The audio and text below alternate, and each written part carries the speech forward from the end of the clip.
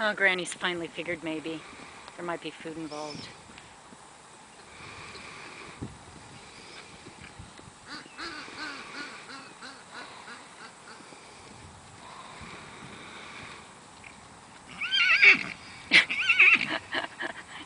and here comes Granny taken in the rear.